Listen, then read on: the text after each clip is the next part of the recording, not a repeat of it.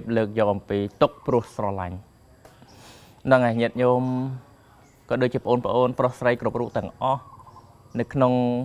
ការរស់នៅហ្នឹងគឺយើងតែងតែមានការស្រឡាញ់ហ្នឹងច្រើនណាស់ហ្នឹងហើយមេដាបេដាស្រឡាញ់កូនអឺប្តីប្រពន្ធស្រឡាញ់ប្តីស្រឡាញ់ប្រពន្ធទៅវិញទៅមកហើយញាតិមិត្តទាំងអស់ឬក៏វត្ថុសម្ភារៈអ្វីផ្សេងផ្សេងក៏ស្រឡាញ់ជាច្រើន ដែលយើងតែងតែរស់នៅនឹងចង់ បានការស្រឡាញ់ការរាប់អានហើយខ្លួនឯងក៏ស្រឡាញ់រហូតដល់អ្នកខ្លះហ្នឹងស៊ូលះបង់ជីវិត ដើម្បីអ្នកដតីក៏ព្រោះតែការស្រឡាញ់អញ្ចឹងនៅក្នុងនេះកាត់នៅក្នុងធម៌លោកសំដែងថាបើបើយើងស្រឡាញ់ខ្លាំងនឹងຕົកខ្លាំងពពុទ្ធព្រះអង្គសំដែងជាមួយនាងអឺឧបាសិកាវិសាខា ដែលគាត់ស្លាប់ចៅគាត់ស្លាប់ចៅទាំងទៅយំអឺហើយដល់ពេល នោះព្រះអង្គទ្រង់សួរឧបាសិកាវិសាខាថាទេបាននាងយំទាំងចៅរបស់ខ្ញុំព្រះអង្គហ្នឹងស្លាប់ហ្នឹងហើយអញ្ចឹងបានព្រះអង្គទ្រង់លើកមកថាពេមតោជាយតេសោកោ ពេមតោជាយតេភយ៉ាង ពេមតោវពមុតតសៈណដ្ឋិសោកោកតោភយ៉ាងហើយណាសេចក្តីសោកកើតមកពីសេចក្តីស្រឡាញ់ហើយណាណាសេចក្តីសោកកើតពីសេចក្តីស្រឡាញ់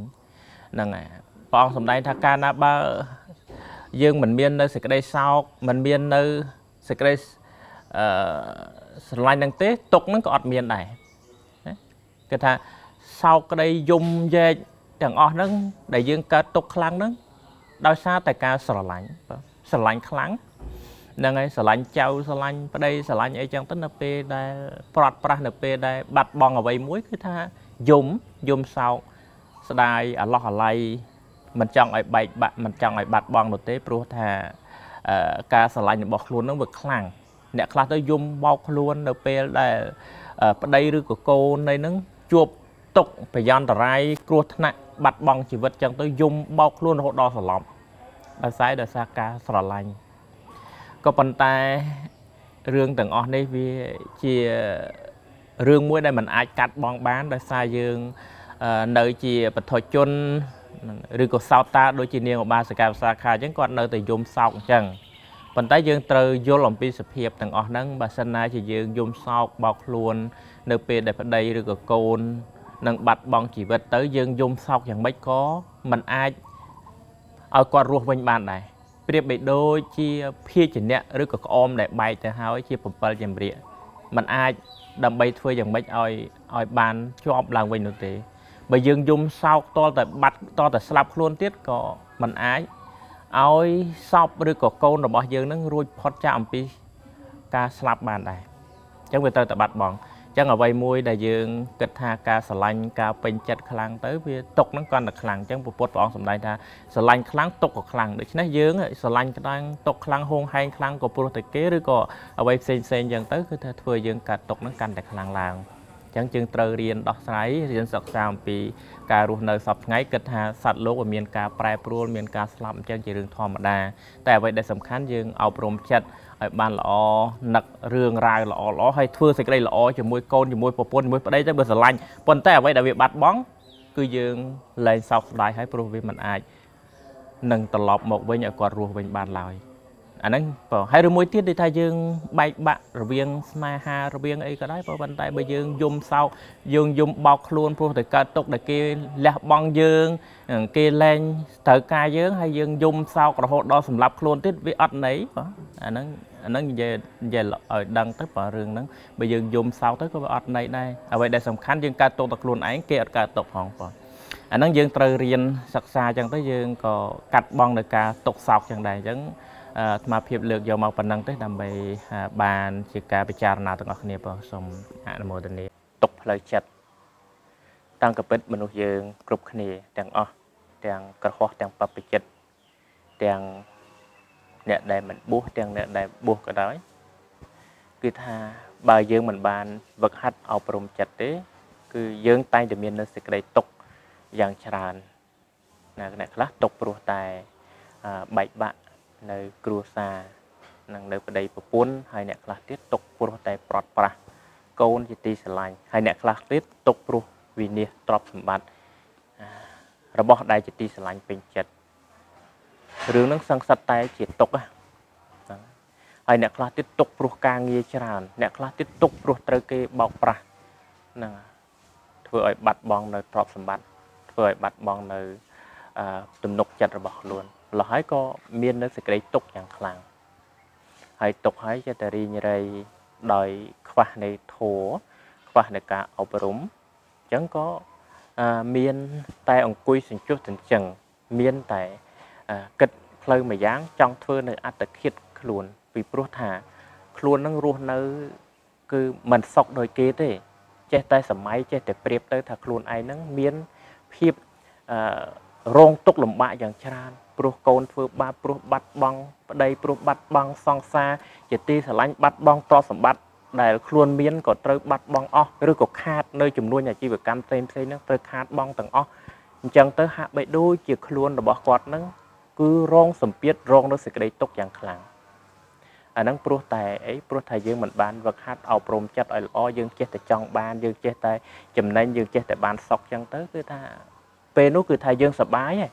ដល់ពេលវាបាត់បង់ដល់ពេលវាបាត់ប្រាស់ក៏យើងចាប់ផ្ដើមកើតទុកអាហ្នឹងព្រោះតែអីព្រោះថាយើងមិនបានវឹកហាត់អប់រំប៉ុន្តែចំពោះបុគ្គលដែលបានអប់រំមានភាពរឹងមាំនឹងដូចជាស្ត្រីម្នាក់គាត់ជនជាតិណាបងគាត់ជនជាតិនឹងមានភាពមាំទាំគាត់ធ្លាប់រស់នៅជាមួយគ្រួសាររបស់គាត់ដែលគាត់រស់នៅជាមួយពុកម្ដាយនឹងគាត់ស្រឡាញ់ថែរក្សាណាចំពោះ ម្ដាយពុកគាត់នឹងស្រឡាញ់គាត់នឹងគឺថែរក្សាយ៉ាងមែនតែនហើយគាត់នឹងក៏គោរពតាមម្ដាយពុកដែរអញ្ចឹងពេលដែលឪពុកម្ដាយរៀបចំប្តីឲ្យហ្នឹងគឺថាមិនបដិសេធទេឲ្យតែឪពុកម្ដាយសប្បាយចិត្តគឺនាងនឹងព្រមតាម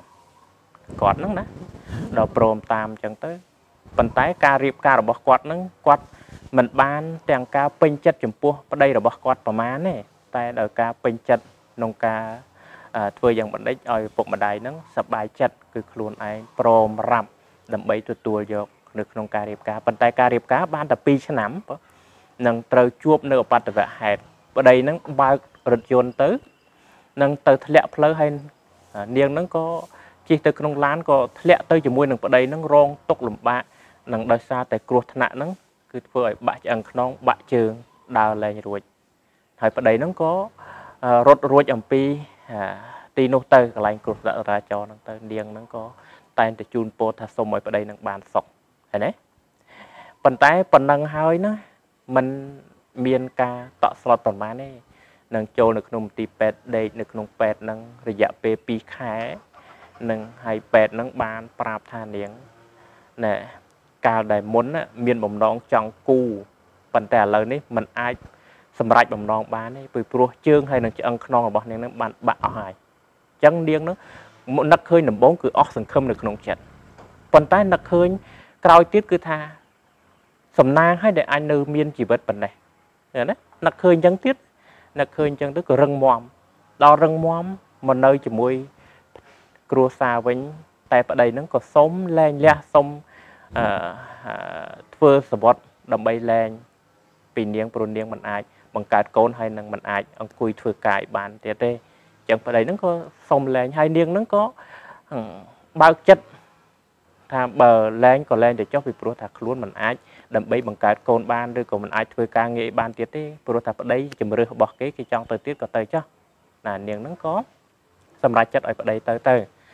ណាប៉ុន្តែសេចក្តីរឹងមាំរបស់នាងនាងតែងតែជូនពរឲ្យប្តីបានសុខរហូតសូមឲ្យប្តីនឹងបានសុខនឹងទៅហើយគឺថា រកស៊ីទទួលទានឬក៏មានស្វាមីឬដំណឹងថាប្តីនឹងមានប្រពន្ធទៀតអីក៏តែងតែជូនពរមេសេចទៅជូនពរឲ្យប្តីនឹងបានសុខរហូតតែជីវិតរបស់នាងព្យាយាមរហូតដល់ខ្លាយទៅជាមនុស្សរឹងមាំខ្លាយជាជនពិការមែនតែជនពិការដែលគេទទួលស្គាល់នឹងអាចជិះរទេះអាចធ្វើជាវាគ្មិននិយាយអំពីជីវិតនៅក្នុងភាពជាអ្នកលើកទឹកចិត្តសម្រាប់អ្នកដែលបាក់ទឹកចិត្តហ្នឹងគឺនាងបាននិយាយធ្វើបានល្អ ហើយជីវិតរបស់នាងគឺមានការរឹងមាំព្យាយាមរស់នៅ ហើយនឹកឃើញថាការរស់នៅរបស់ខ្លួននឹងបើទោះបីជាអត់កូនក៏ដោយតែនាងសុខចិត្តនឹងសុំច្បាប់ឬក៏សុំពីកន្លែងអ្នកដែលគេយកពីកុមារកព្រាមកហ្នឹងគឺនាងយកក្មេងមួយយកមកចិញ្ចឹមទៀតធ្វើជាកូនរបស់នាងទៅ ហើយជីវិតរបស់នាងគឺរឹងមាំមិនកើតទុកទេអាហ្នឹងគឺជាជីវិតរបស់ជនពិការដែលគាត់ធ្លាប់មានគ្រួសារធ្លាប់មានទ្រព្យសម្បត្តិតែដល់ពេលរឿងមកកើតឡើងតែគាត់មិនអស់សង្ឃឹមទេយ៉ាងណាមិញយើងដែលជាមនុស្សនៅមានការគិតពិចារណាល្អសម្បទាកាយសម្បទាហ្នឹងក៏ល្អនឹងយើងមិនគួរណាទៅកើតទុកព្រោះបាត់បង់នេះមួយបាត់បង់នោះមួយទេធម្មតា កាលណាបើយើងជួបតែងតែព្រាត់ អ្វីដែលជាទីស្រឡាញ់ពេញចិត្តក្នុងថ្ងៃនេះមិនប្រកាសថាថិតថេរនៅជាមួយយើងរហូតទេមាសប្រាក់តោះសម្បត្តិកូនប្រពន្ធប្តីជាទីស្រឡាញ់ក៏ដោយវាត្រូវតែបាត់បង់ដូច្នេះយើងក៏ត្រូវតែមានលំនឹងនៅក្នុងចិត្ត ដោយរឹងមាំមិនត្រូវកើតទុកទៅតាមផ្លូវចិត្តខ្លាំងពេកទេហ្នឹងទើបយើងរស់នៅបានសុខមានភាពរឹងមាំព្រោះអញ្ចឹងស្មារភាពគ្រាន់តែចូលប៉ុណ្ណឹងទេគឺយើងកើតទុកខ្លាំងពេកវាមានតែចុកចាប់តាមផ្លូវចិត្តហើយអាកាយរបស់យើងក៏មិនសូវស្រួលទៀតរស់នៅមិនយូរទេប៉ុន្តែបុគ្គលដែលមានភាពរឹងមាំគឺមានការសម្រេចចិត្តត្រូវមានការវឹកហាត់អប់រំឬក៏ស្ដាប់ធម៌ឬក៏ទៅរកកន្លែងប្រឹក្សាល្អល្អទៅយើងនឹងមានភាពរឹងមាំឡើងវិញអញ្ចឹងណានេះគឺស្វាយញាតិញោមមើលទៅវាមានពណ៌ស្អាតដែរ មានខៀវតែសាច់ខាងក្នុងក៏ផ្អែមដែរញាតិញោមចឹងអាត្មាភាពចង់លើកយកអំពីមនុស្សស្វាយមាន4ប្រភេទដែលពុទ្ធព្រះអង្គក៏សម្ដែងដែរណាស្វាយទី1គឺថាពណ៌រៀងខ្ចីតែសម្បល់ទុំនឹងហើយមួយទៀតអឺ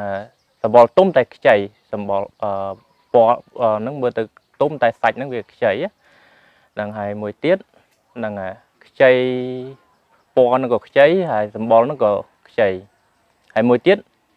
នឹងពណ៌ហ្នឹងក៏ទុំសម្បល់ហ្នឹងក៏ទុំដែរណាហ្នឹងមាន4ប្រភេទនៅក្នុងបត្រៃបិដកញាតិញោមពុទ្ធបរិស័ទអាចឃើញបានតែអាភាពចង់ទាញយកមកវិញថាមនុស្សយើងក៏មាន4យ៉ាងដែរណាអ្នកខ្លះមើលទៅគាត់នៅវ័យក្មេងឯងអានឹងប្រៀបបីដូចជាស្វាយវាមើលទៅវាខៀវចឹងប៉ុន្តែអាចិត្តគំនិតអាកប្បកិរិយារបស់គាត់ហ្នឹងគឺថាល្អ ហ្នឹងចូលក្នុងក្នុងជំនុំចំណោមណានៃនិយាយស្ដីទាំងធ្វើអីកាយវិការហ្នឹងគឺថាចូលទៅគឺជាចរិតមនុស្សរុំទុំតែម្ដងហើយបបចិត្តក៏អញ្ចឹងដែរបើថា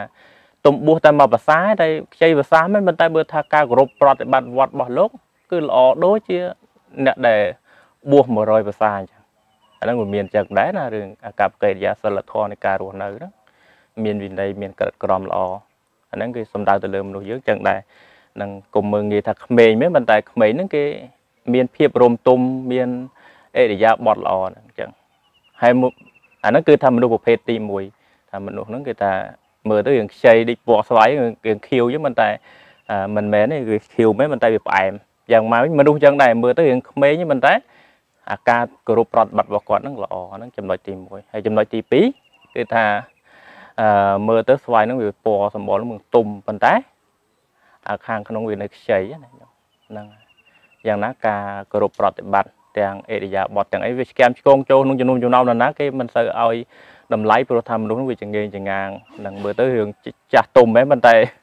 នឹងទាំងការប្រព្រឹត្តទាំងការអនុវត្តប្រតិបត្តិរបស់គាត់ហ្នឹងគឺវាស្គាំឆ្កងច្រើនហ្នឹងហើយហើយដល់ចំណុចទី3នោះនឹងពណ៌នឹងក៏ខ្ចីហើយសម្បល់នឹងក៏ខ្ចីនឹងអត់ទុំទេអញ្ចឹងគឺថាចូលទៅអាហ្នឹងរត់តែស្គាំឆ្កងខ្លាំងតែម្ដងបង នឹងគឺថាបើយើងនិយាយពីមនុស្សវិញមនុស្សមិនតន់ចេះអប់រំមិនតន់ចេះធ្វើអីល្អគេថាបើស្វាយគេថាជូពីជូពីម្ដាយរហូតដល់កូនអាស្វាយខ្លះវាមានពណ៌ខៀវហើយវាវាមិនមែនជាការល្អទេបងគឺថាវាជូណាខៀវវាជូទៅទៀតវាអត់មានផ្អែមនៅខាងក្នុងឯងហ្នឹងគឺសំដៅទៅលើមនុស្សយើងចឹងដែរគឺថាមើលទៅវាខៀវ មើលទៅវានៅខ្ចីនឹងការដែលនៅក្មេងខ្ចីអញ្ចឹងការគោរពប្រតិបត្តិការដែលអកប្បកិរិយារបស់គាត់ក៏នៅខ្ចីនឹងមិនបានល្អទេទាំងការនិយាយស្ដីអីគឺថាធ្វើទង្វើមិនល្អច្រើនហ្នឹងគឺថាប្រព្រឹត្តទៅយ៉ាងហ្នឹងហើយដល់ពេលអាទី4នេះគឺថាស្វាយហ្នឹងគឺវាមានពណ៌ទុំផងហើយសម្បល់ហ្នឹងក៏ទុំទៀតនឹងយ៉ាងណាគឺថាជាមនុស្សចាស់ទុំហ្នឹងហើយប្រព្រឹត្តទៅហ្នឹងមាន ភាពល្អហើយការធ្វើហ្នឹងក៏ល្អអញ្ចឹងវាចំណុចទី4ហ្នឹងល្អជាងនឹងវាថាដូចបើស្វាយវិញវាពណ៌ទុំហើយវាផ្អែមហើយវាមានអាផ្អែមនៅខាងក្នុងទៀតជាតិផ្អែមវាមានដូចជាស្វាយច្រើនប្រភេទដែរស្មារាប់អស់ប៉ុន្តែគ្រាន់ចង់លើកថាមនុស្សយើងវាមាន4ប្រភេទចឹងដែរហ្នឹងហើយមនុស្សយើងខ្លះខ្លះមើលទៅរឿងសម្បល់មនុស្សចាស់ទេតែដល់ពេលប្រព្រឹត្តវាខ្ចីហើយអ្នកខ្លះមើលទៅវាក្មេងខ្ចីប៉ុន្តែគោរពល្អហើយអ្នក ដល់ទី3នេះគឺថាមនុស្សហ្នឹងវាក្មេងខ្ចីហើយអាការប្រព្រឹត្តរបស់គាត់ហ្នឹងក៏ខ្ចីទៅទៀតនឹងទាំងអេរិយាបថទាំងការធ្វើអីផ្សេងផ្សេងវាស្គាំឆ្កងច្រើនដល់ចំណុចទី4នេះល្អបងសបល់ក៏ទុំហើយការអឺគ្រប់ប្រតិបត្តិក៏ល្អប្រព្រឹត្តទៅក្នុងអេរិយាបថទាំងការនិយាយទាំងការស្ដីធ្វើអីក៏ជាមនុស្សចាស់ទុំអាហ្នឹងគឺថាមាន4ប្រភេទហ្នឹងឯងដូច្នេះប្រៀបទៅស្វាយហ្នឹងវាមាន4ដែរញោម